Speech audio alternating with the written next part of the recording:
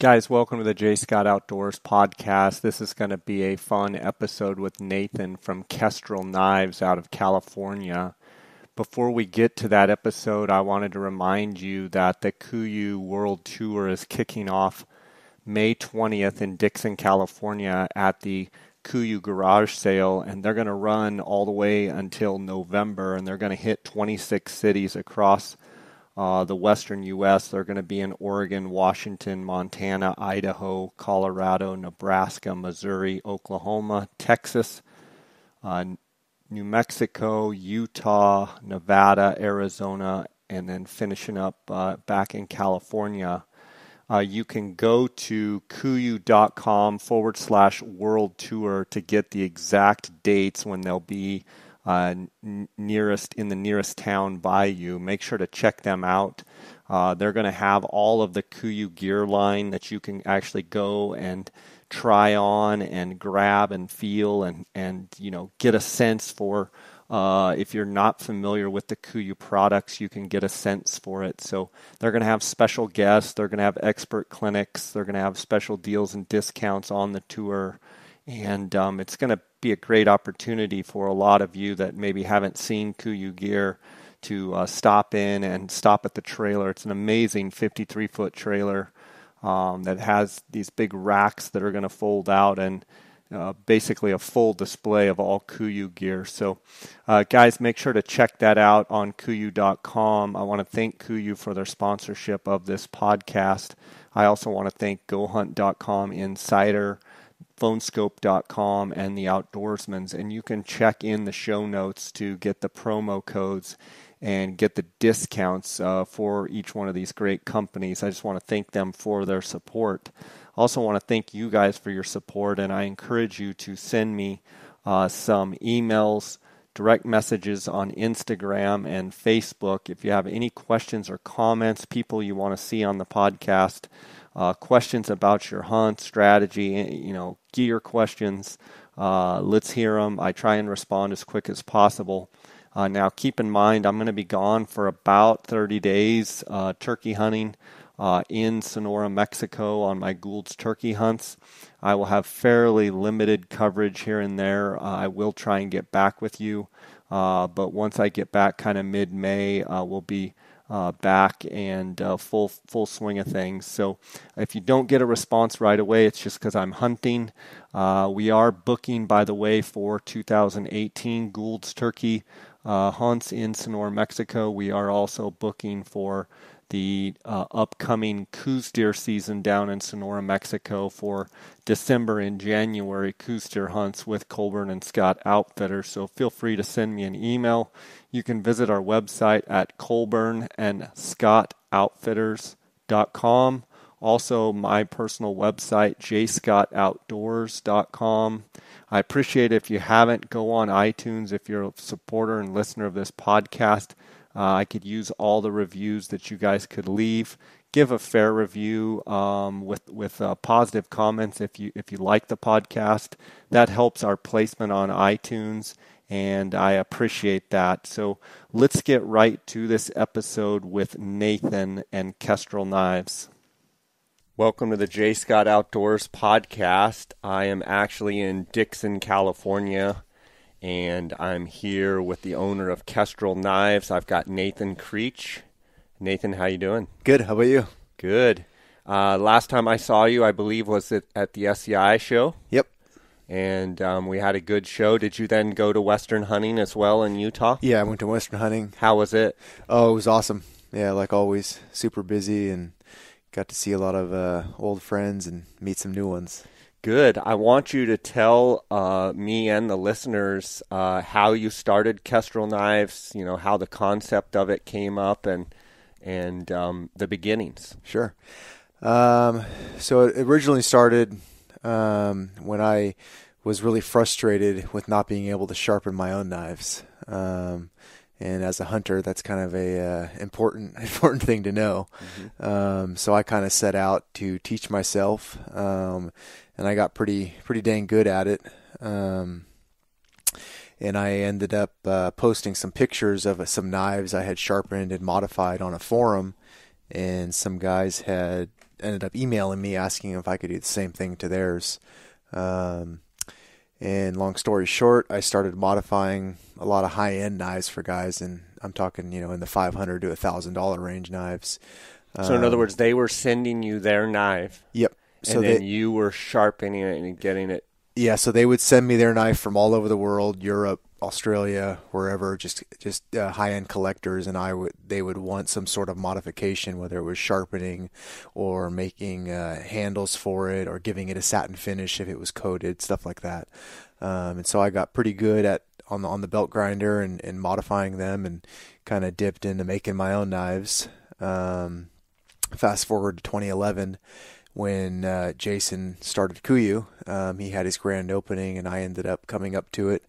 And at the end of it, I walked up to him and showed him one of my knives, and he he thought it was the coolest thing ever. It was one of my uh, ultralight titanium ones, and uh, he's like, "Man, you should you should make those. You know, there's nothing else like it." And it was something that I had kind of, you know, thrown around in my head, but never really, you know, taken it too seriously. Right. You know, and uh, we ended up kind of hitting it off, and he invited me on a blacktail hunt, um, and so we ended up going on that, and he kind of. Uh, he pushed me a little bit more. He's like, "You should start a brand, blah blah blah," and so it uh, kind of all started right then and there. And I jumped headfirst in, and here I am now. So The name Kestrel. How did you land on that? uh, I had been brainstorming with uh, my now wife um, for a little while on names when I when I decided I was gonna go ahead and, and start something, and uh, was just running through it, and she ended up saying the name Kestrel, and I immediately liked it, and, and I'm I'm real big into birds and stuff like that, so I, I knew that you know the Kestrel was a fast, small, you know, light bird, and I was like, wow, that's that's perfect, you know, and and uh, so that's how it how it came to be. That's awesome. And so is Kestrel Knives your full time job, or do you also have a full time job? Uh, it is now. I was a landscape contractor um, who specialized in like native and edible gardens, um, and I did that for a little while. Um, and now I've jumped full time into Kestrel and been doing it now for I think two and a half, three years full time. How has uh, the explosion, if you will, of your company? I mean, ha- how have you been able to adapt to, um, you know, how well received it's your knives have been in the marketplace? Yeah, it's been uh, it's been pretty cool. You know, I, I, wasn't sure how it was going to go at first. You know, it's kind of there's a lot of old timers that are in the knife community that you know have um, uh, you know good reputations and have been in it forever. So I was kind of like the new cat on the block, and um, it, it's it's been well received, um, and I couldn't have asked for a better start. Obviously, you know, Jason's given me a lot of help with it, and, and being kind of um, associated with him has has helped a lot.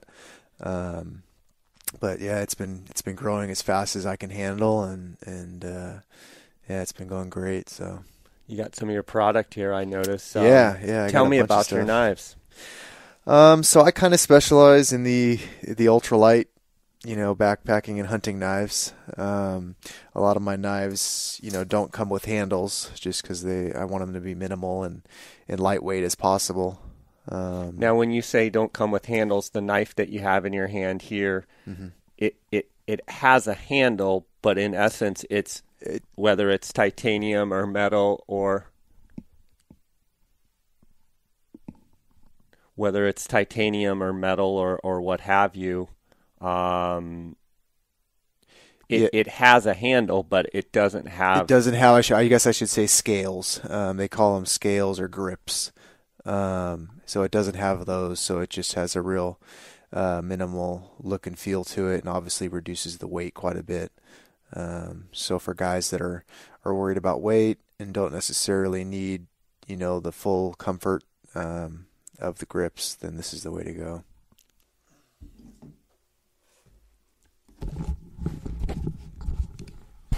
Do you go by Nathan or Nate? Nathan, but some people Yeah. call me Nathan, Okay. so it doesn't matter.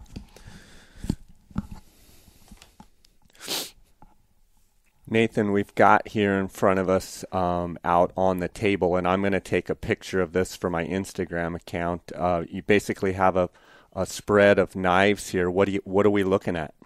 So you're kind of looking at my uh, full range of models, everything from uh, all the skeletonized models to a couple of my different handled versions, and then a couple of the different ways I uh, come up with concepts, and then also the Giru project knife. Nice. Yeah. Um, first and foremost, I'm seeing here this is kind of how you develop your concept, and what I'm looking at is basically cardboard, and, and, and so this is exactly how you shape in your mind and you kind of make it and, and and I'm sure you go through a bunch of these trying to figure out something new. Yeah, so I kind of have a general idea in my head of what I want, you know, the model to be like, um, depending on what style and type of knife um, I want to do. And so what I'll do is I'll get on the computer and get on one of my CAD programs and kind of draw it out on there and then I uh, end up printing that out and cutting it out of some cardboard just so I can see uh, visually um, something, and then also so I can get a feel for how it's gonna gonna feel in the hand, I guess. Um, and then I kind of go from there with any changes that I make. What material are your knives made out of? Um, so some of them are titanium. The really light ones um, are titanium, and then eh, from there I go to AEBL steel, um, which is kind of a uh, mid-grade stainless. But uh, is works, that what this is? Yeah, but works really well when you run it hard. Um, so it's very easy to sharpen, but holds a really good edge when it's at a high Rockwell. Um, and then from there I go up to S35 VN, which is a really high grade stainless.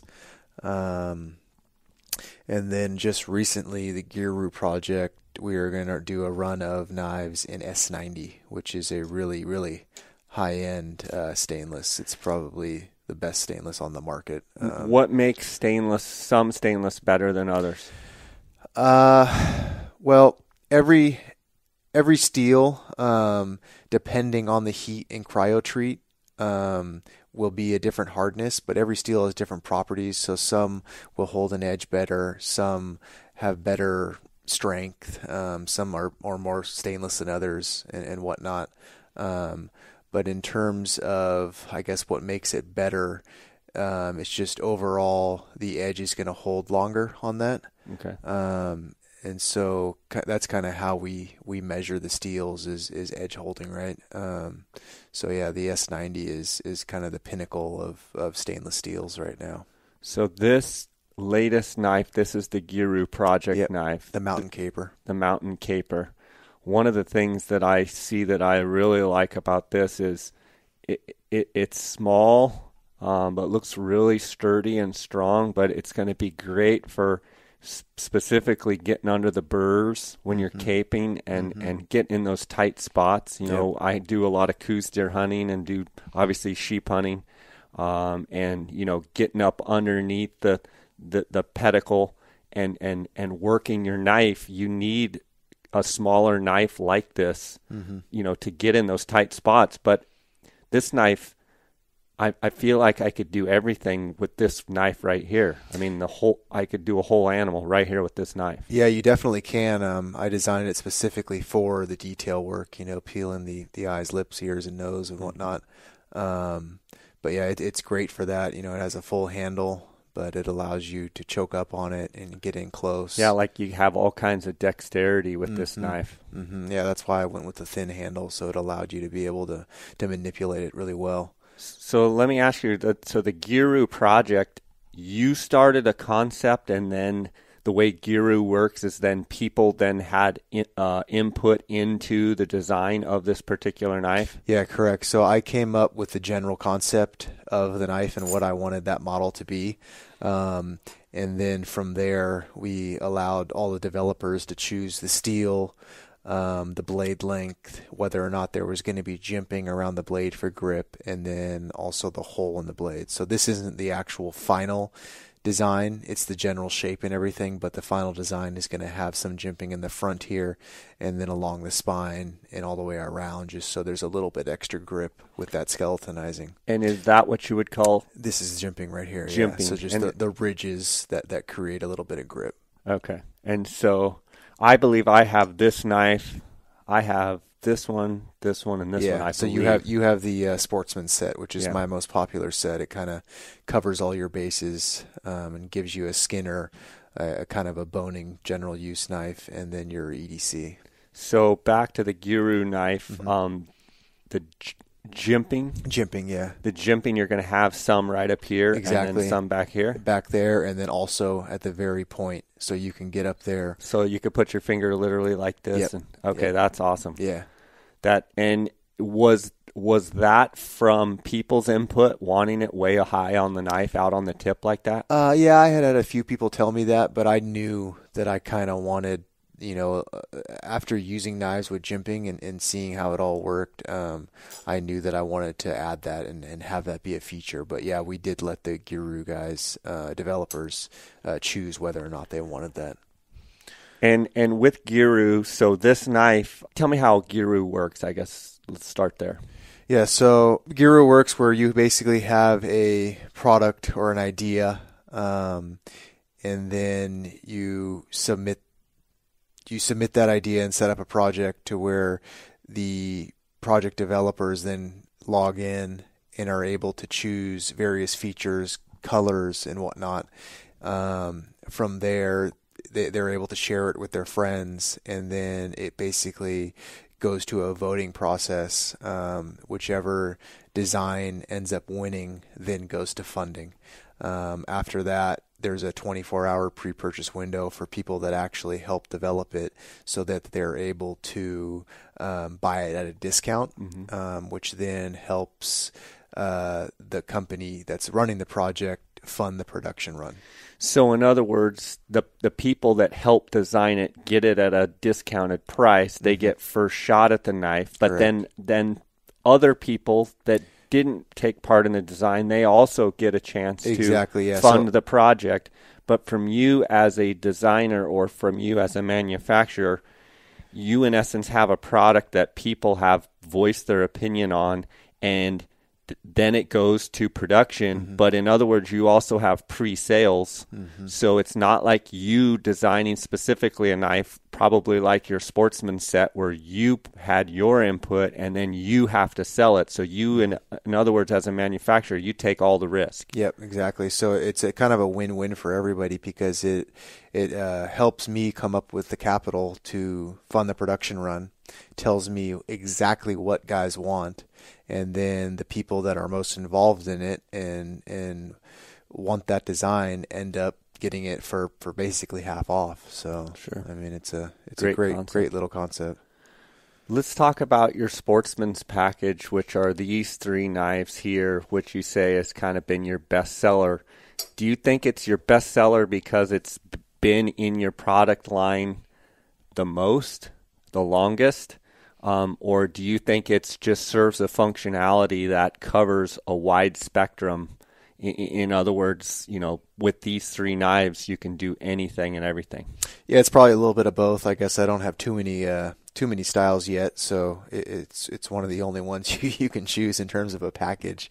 Um, but yeah, I kind of put that them together just because I, I feel that it covers everything that you um, are going to need to do as a as a hunter or backpacker. Um, you know, you, you have your skinner um, for the for the quick skinning work. You have your your Ovis Hunter, which which helps with the uh, boning or long deep cuts. Um, you're able to process animals really fast with that Ovis Hunter, and then the EDC, which is the everyday carry, which you know is kind of your general use knife that that you can use for anything. And standard, your knives don't come with any wrapping, correct? Exactly, yeah. That, that that is an option when you purchase if you want paracord wrap. And then these sheaths that you have here, um, every knife does come with a sheath, though. Every knife comes with an ultralight Kydex sheath. Um, the uh, the the KUIU camo ones are extra. okay. And then you ra- you also sell them wrapped, Yep, correct. but yeah. people can wrap their own as well. Yeah, which is uh, actually something I need to do is a video um, on how to wrap. But yeah, it's very easy.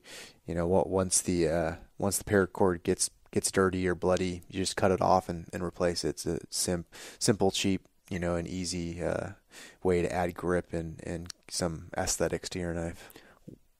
Do you feel that it gives you that much more advantage having it wrapped, having the grip? Um, a little bit. You know, I guess if you're, I haven't had too much issues with it, but some guys, you know, want just that little bit extra grip. You know, when they're getting in in deep and the, you know the the knife starts to get bloody. Um, it does it does help with that a little bit. Um, but I, I I've noticed that I don't necessarily need it, and so all of my knives I just run skeletonized just just for that little bit of weight. This reduction. EDC, um, I I I remember caping out this last December. I caped out a, a sheep with this EDC, and I was amazed. I was jamming that tip and and into bone, and you know caping, and I was amazed how sharp it stayed. What do you attribute that to? Um, I attribute that to the the actual heat treat recipe um, that my heat treating company does. Um, they they are the the leading edge in terms of heat treating. It's called Peter's Heat Treat. Um, they Brad over there has come up with the best recipes for bringing out the best in every steel. Um, so I let him know exactly what Rockwell I want to run the knife at. Um, and for hunting, you basically want a, a hard a hard or a high Rockwell so the edge holds.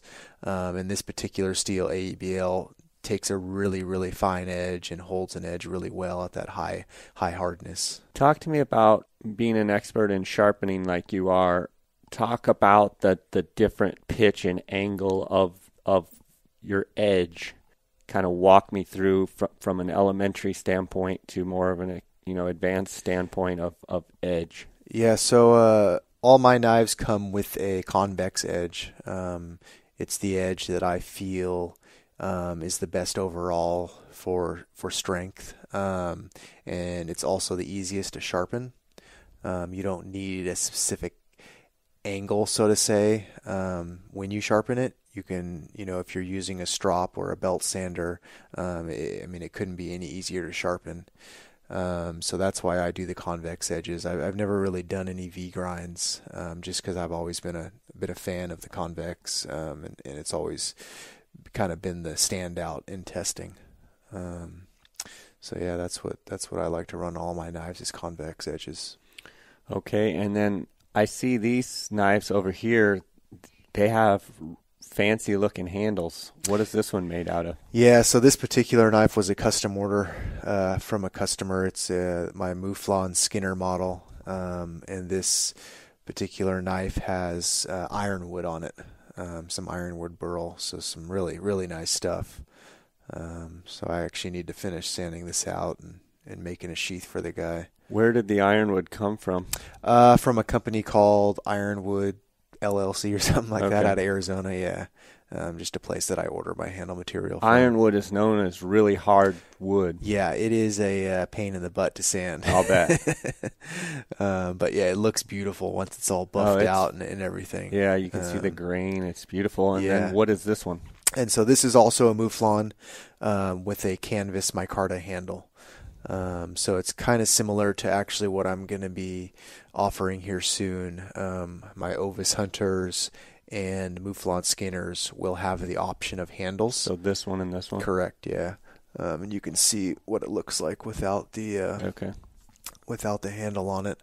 Um, so yeah, I'll be offering a couple different, or probably three or four different handle uh, colors um, with those models, and, and I'll be opening up pre-orders for those soon. Nathan, what do you like to hunt the most yourself? I'm a blacktail fanatic. You know, growing up in California, it's it's uh, it's kind of what you you just fall into, and uh, yeah. Archery, uh, rifle, archery and rifle. Yep you gotta extend your season, right? yeah. So, but uh, don't you you guys start like in July? Your blacktail. Yeah. So the earliest season for blacktail in California starts in July, and that's for A zone, which is kind of like uh, a little bit south of the Bay Area up to Sonoma. So it's a it's a pretty big zone. Most of it is private though. Um, so unless you have a have a ranch that you can get on or something, it's it's it's pretty hard hunting. I mean the the public areas that are open for that are are are very crowded and it's it's extremely hot at that time of the year. Mm-hmm. Um, and there's not too many bucks in those areas, but still fun to get out. We we actually call it ultra hot hunting. ultra hot. And then do you get is the season pretty liberal and you get to hunt them all the way into the rut or No, so we we don't get rut. That's one bad thing about California deer seasons. Um, unless you're hunting some special draw or something later on, um, it, it actually our seasons end right before the rut, so we get no help on that end. Gotcha. And do you typically get a buck every year? I mean, Uh, typically, How's your success? Um, actually, the last two three years, I haven't been able to get out hunting much, um, just with the growth of Kestrel and, and that being my busy time. Um, I, I've only been out to get get out for a couple trips, um, and I haven't been out scouting or anything, and so it's kind of it's pretty difficult uh, hunting blacktail here in California um, to go in blind somewhere and, and and hope to find a nice mature buck. when you're not promoting your business and working on your business, what else do you like to do in your free time? Uh, I like to work out a lot, um, so I'm I'm I'm training a lot for for hunting. Um, I also like uh, I like growing stuff, um, so I'm big into fruit trees and vegetables and stuff like that. So do you I have your own garden? yeah, stuff? yeah. I have a nice some raised beds in the backyard, and, and and I like to grow different types of fruit and stuff like that. So it's kind of something that keeps me busy on the side and Cool. and and whatnot. Is there any particular fruit that that is like your most uh, unique or off the wall or Ah, something crazy Let's fruit? see. I got so many. Um, probably the most unique that I grow is the passion fruit, um, the lilikoi. Uh, I have a few vines of that, and I actually have to hand pollinate each flower um, because the bees, for whatever reason, uh, don't know how to pollinate it, or or or or they. I don't know. For some reason, it takes them. Like last year, it took them about three months uh, to figure out how to pollinate it, um, or how to gather the pollen, I should say. Um, and I noticed that when they were able to do that, that I could stop hand pollinating. But this year, for whatever reason, I don't know if the the closest hive moved or whatever. There's been no pollination going, so I literally go out there and grab each. Uh, grab each one and, and hand pollinate it, but it's all worth it because I get a pretty much 100% success rate on that, and uh, they're, they're just awesome. So Wow. Since I saw you too, you've gotten married. I did, yeah. Uh, about- Congratulations. yeah, thank you. About three weeks now, got married, and uh, yep. You guys are off and running. yep. well, good for yeah, you. yeah. Good for you. So new at at Kestrel, you've got the these this Giru knife, and then Mhm. you've got some other things you're working on. Yep. Um, typically, when do you release new products? I mean, do you try and do it in the summer before hunting season, or is it just a constant a- as you come up with things? Basically, as I come up with things, um, this year I'm trying to time things a little better and, and have everything done before the hunting season, so guys can get their get their knives beforehand and be ready. Um, but yeah, it's basically as as fast as I can come up with concepts and, and then get them into production and, and finish everything out in terms of sharpening and making the sheaths and whatnot. And as a business owner, obviously, you know, diving straight into this, there's things I'm sure that you've just been overwhelmed with. And you know, you're you're pretty much a one man band, so you Yeah. have to handle everything. Yeah. W- what would you say, you know, has been one of the biggest challenges for you? Uh, I guess probably juggling all the different emails and stuff I get. You Yeah. know, so I, I have to spend an hour or two every morning, you know, going through them and responding to people, and then I guess Which just- is like the heart of your business, but it also Yeah. takes time Yep. away from. it takes time away from me. Yeah, designing and, and marketing and making the knives. Um, but yeah, it's a it's a crucial part and uh, something I try to focus on. I try to get back to guys immediately when they email. Um, but yeah, it's hard keeping up and remembering, you know, everything I have going and, and whatnot with, with that. So if people contact you right now, I mean, do you have product for them? Yeah, so I have quite a few. I have a skele- the skeleton skinners are in stock. Um, I have both the steel and titanium skeleton EDCs in stock. Um, the Ovis Hunters are out of stock right now, but I will be taking pre-orders for those in S35VN here soon. Um, and then as far as the handled knives, those are going to be opening. Uh, I'm going to be opening those pre-orders soon. I just wanted to get some actual pictures of the uh, the handle material I'm going to be using, so when guys order, they can choose the exact color they want. Um, but yeah, I do have quite a few in stock right now in terms of the skeleton skinners and the uh, EDCs. How do people order their knife? Do you have a website? Yep. So I have a website, kestrelknives.com. Spell that. Uh, K E S T R E L knives.com. Um, yeah, you can go onto my uh, e-commerce store and, and order up, and uh, yeah, it's all it's all pretty simple. Do all of the knives? I, I see you've got your Kuiu, you've got this. These are extra, right? Yeah, this is uh, extra for the Vias or Verde uh, mm-hmm. camo sheaths, but you can get them for any knife I make. Okay.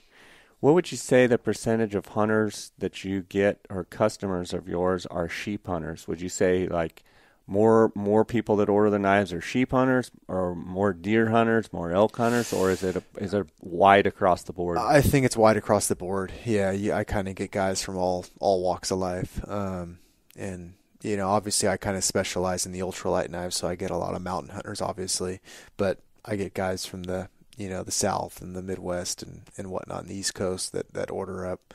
Um, but yeah, I'd say the majority are, are mountain hunters that just want a nice you know lightweight knife that's gonna that's gonna work. So you got anything else for us? Uh, what else do I got in here? Uh, I think I got all my models out there for you. And and how do you recommend guys sharpen your knives? Um, so with my knives, I kind of tell guys whatever they're comfortable with. Um, so if they have a particular setup already, my knives, you know, you you are able to sharpen them on whatever. But I do recommend the strop and sandpaper method. Um, that is it's kind of a an, an easy way to learn um, how to sharpen by hand. If they don't necessarily want to take the time to learn that, I tell them to either get a small belt sander or a what's called a, uh, a work sharp sharpener. It's kind of basically a mini belt sander. Um, and that one you kind of just drag the knife through as the belt's running, um, and it sharpens it. And a lot of guys say, "Well, what angle do you sharpen at?" And, and uh, I don't really have a set angle that I sharpen at because I freehand everything on the belt sander.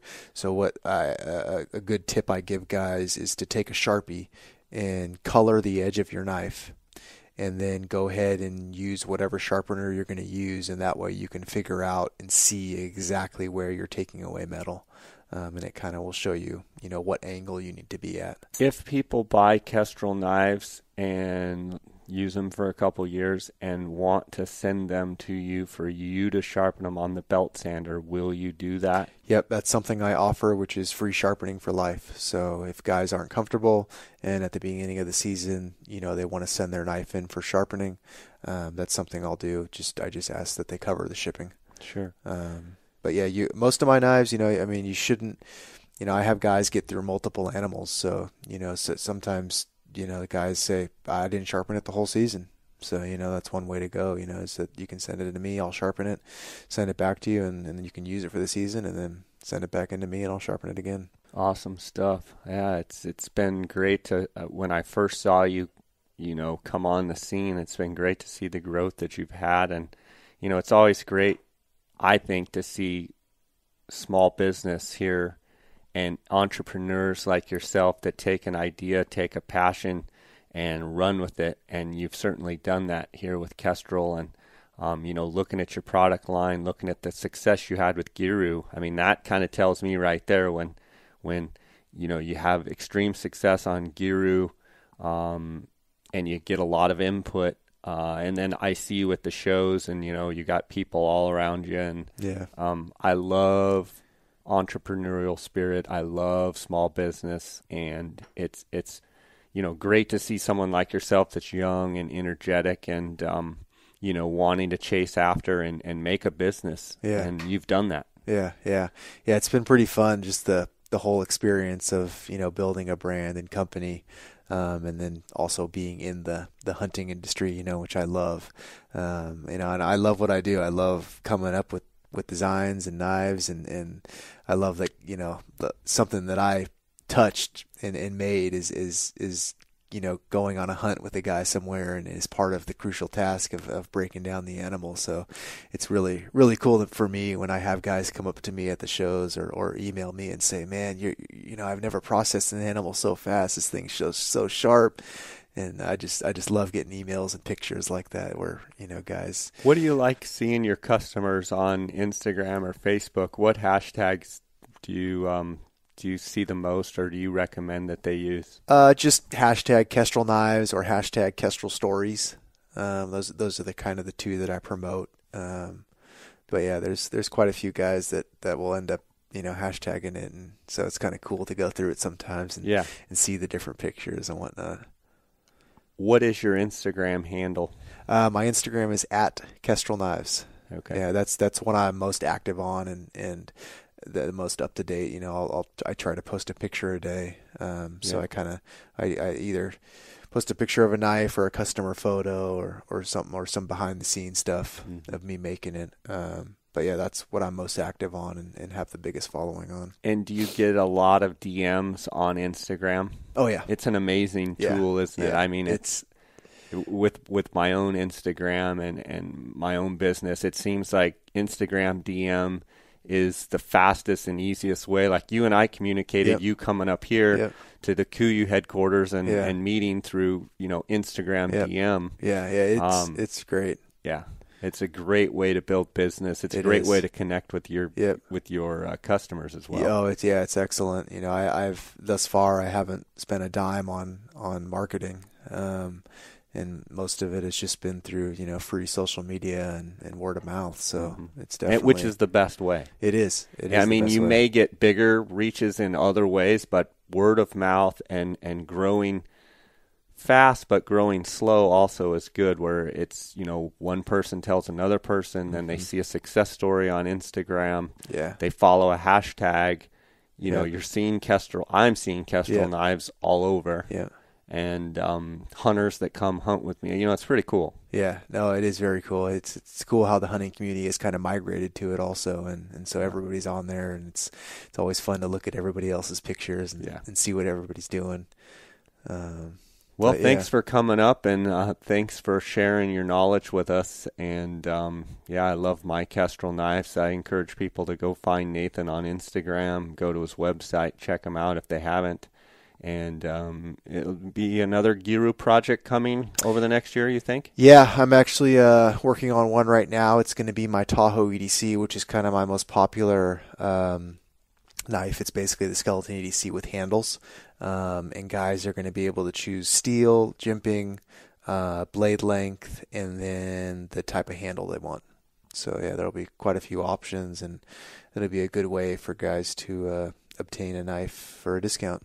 Yeah, So, and yeah. that's Giru.com. That's G I R U.com. Yep. Uh, make sure to check Nathan out there. Um, go check him out at Kestrel Knives and on Instagram. Facebook too, or no? I'm on Facebook, but I don't update it too often. Yeah. Just you know, Instagram's your go to spot. Instagram is where you can find me. Yeah. What is your email as well? Uh, email is kestrelknives at gmail.com. Okay, perfect. Yep. Perfect. Well, buddy, thanks uh, for coming up and um, have a safe uh, drive back out. Where do you live from here? Uh, in the Bay Area, so it's about an hour 30 south of here. gotcha. Do you have any shows or anything coming up that you'll be going to this summer? I or- actually do. I'm glad you brought that up. Um, the Out West Outdoors guys uh, are actually they put on a show in Redding, which is I don't know about three hours north of here, I think, Mhm. and uh, it's their second annual Sportsman's Expo. Um, and they're expecting quite a few people. It's free entry, um, and so anyway, I'll have a booth there set up, and uh, you'll be able to purchase knives. And that is, I believe, April 1st and 2nd. so Okay, coming good. up here quick. But other than that, I just hit the uh, trade shows, the major ones: um, Wild Sheep, uh, Safari Club International, and the Western Hunter. I can't wait to get my hands on this little bad yeah, boy right yeah, there. I know everybody's everybody's A mountain caper. yeah. Everybody sweet. came up to me at the shows and they're like, "When's that going to be released? When's Yeah. that going to be released?" So Neat. yeah, All right, buddy. Thanks. yep. Thank you for having me. It's been a pleasure.